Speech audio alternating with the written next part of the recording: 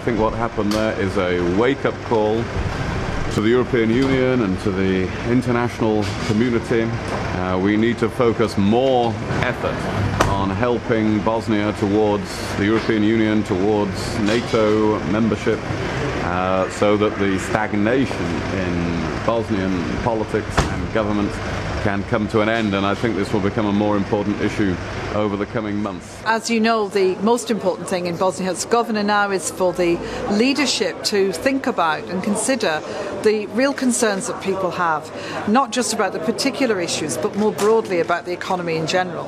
And as you would expect me to say, to actually look to try and find a way through politically. It's very, very important. There are plenty of leaders in Bosnia Herzegovina. It's time they started to really show that leadership, and we will support them all the way.